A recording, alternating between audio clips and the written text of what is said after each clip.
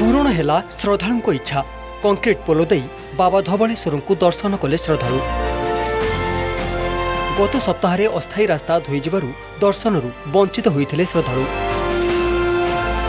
ଶ୍ରାବଣ ମାସରେ କାଉଡ଼ିଆ ଏବଂ ଶ୍ରଦ୍ଧାଳୁଙ୍କୁ ଆଖି ଆଗରେ ରଖି ସେତୁ ଉପରେ ଯାତାୟାତ ପାଇଁ ବୁଧବାର ପ୍ରଶାସନ ପକ୍ଷରୁ ଅନୁମତି ମିଳିଥିଲା। ପୋଲ ନିର୍ମାଣ କାର୍ଯ୍ୟ ସମ୍ପୂର୍ଣ୍ଣ ହୋଇନଥିଲେ ବି ପ୍ରଶାସନର ଏହି ନିଷ୍ପତ୍ତିକୁ ପୂଜକ ସମିତି ପକ୍ଷରୁ ସ୍ୱାଗତ କରାଯାଇଛି। বাবা ধবলেশ্বরপীঠকু কংক্রিট সেতু নির্মাণ করা ভক্ত জনসাধারণ শ্রদ্ধাড়ু ভক্ত মানে বাবা ধবলেশ্বর দর্শন করবে বহুত গোটা খুশির দিন ତେଣୁ ଆଉ ଯେଉଁ ଆସ ଯିଏକି ଶ୍ରାବଣ ମାସର କୃଷ୍ଣପକ୍ଷ ଦ୍ୱିତୀୟା ତିଥିରେ ଯେଉଁ ଶୁଭ ଉଦ୍ଘାଟନ ପୂଜା ଆରମ୍ଭ ହେଲା ଶ୍ରଦ୍ଧାଳୁ ଭକ୍ତମାନେ ଏହି ସେତୁ ମାଧ୍ୟମରେ ବାବା ଧବଳେଶ୍ୱରଙ୍କୁ ଦର୍ଶନ କରିବେ ନିଜର ମାନସିକ ରଖିବେ ଏବଂ ଆଗାମୀ ଯେଉଁ ଆମର କାଉଡ଼ି ଯାତ୍ରା ରହୁଛି ସେ ଅଧିକ ସଂଖ୍ୟକ କାଉଡ଼ି ଭକ୍ତମାନେ ଏହି ଚଲା ସେତୁରେ ଯାଇକି ବାବା ଧବଳେଶ୍ୱରଙ୍କର ଜଳାର୍ପଣ କରିବେ। ହଁ ଆଗରୁ ତ ମୁଁ ବି ଶୁଣିଥିଲି ଆର ବର୍ଷ ଶ୍ରାବଣ ମାସରେ ବହୁତ ଓଜନ ଯୋଗୁଁ ଝୁଲା ପୋଲ ଖସି ପଡ଼ିବାର ସମ୍ଭାବନା ଥିଲା। ଗୁଜୁରାଟରେ ବି ସେମିତି ଝୁଲା ପୋଲ ଗୋଟେ ଖସି ପଡ଼ିଛି। ତ ସେଥିପାଇଁ ଝୁଲା ପୋଲ ବନ୍ଦ କରାଯାଇଛି। ଆଉ ଗୋଟେ ଅସ୍ଥାୟୀ ରାସ୍ତା ତିଆରି ହେଇଥିଲା। ତ ସେଟା ବି ବନ୍ଦ ହେଇଗଲା ଲୋକମାନଙ୍କର ଯିବା ଆସିବା। ଦଶ ପନ୍ଦର ଦିନ ହେଲା ପୁରା ବନ୍ଦ ଥିଲା।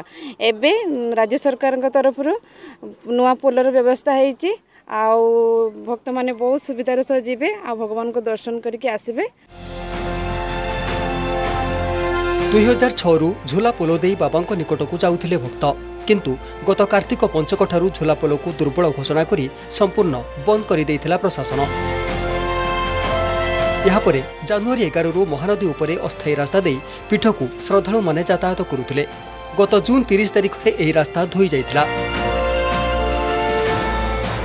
ଲୋକ ଯିବା। ଆସିବାରେ କିଛି ଆମେ ତ ଆମେ ସକାଳୁ ଛାଡ଼ି ଦେଇଛୁ।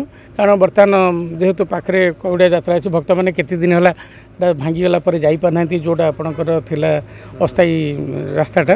ତେଣୁ ଲୋକମାନେ ଯିବା ପାଇଁ ଆମେ କଥା କଲେକ୍ଟର ପରମିସନ୍ ଦେଇଛନ୍ତି। କଲେକ୍ଟର କହିଥିଲେ ସମସ୍ତେ ଆମକୁ କହିଛନ୍ତି ଯେ ଲୋକମାନଙ୍କୁ ଛାଡ଼ନ୍ତୁ କୌଣସି ଅସୁବିଧା ଯେମିତି ନ ହେଉ। ଲୋକମାନେ ଯାଆନ୍ତୁ ଆମେ ଯେବେ ଇନାଗୁରେସନ୍ ହେବ ସେ ପର୍ଯ୍ୟନ୍ତ ନାଇଁ ନାଇଁ କିଛି ନାହିଁ। ଆମେ ଲୋକ ଛାଡ଼ିବା ପାଇଁ କ'ଣ ଅଛି? ଇନାଗୁରେସନ୍ ପାଇଁ କି କେବେ ଟାଇମ୍ ହେବ? ଅବଗତ ନାହାନ୍ତି। କିନ୍ତୁ ଲୋକ ଯିବା ପାଇଁ ଏମିତି କିଛି କୌଣସି ଅସୁବିଧା ରଖାଯାଏନି।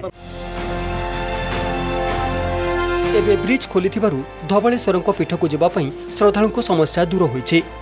ଆଠଗଡ଼ରୁ ସୁଶାନ୍ତ ସାହୁଙ୍କ ରିପୋର୍ଟ ଅର୍ଗସ୍ ନ୍ୟୁଜ୍।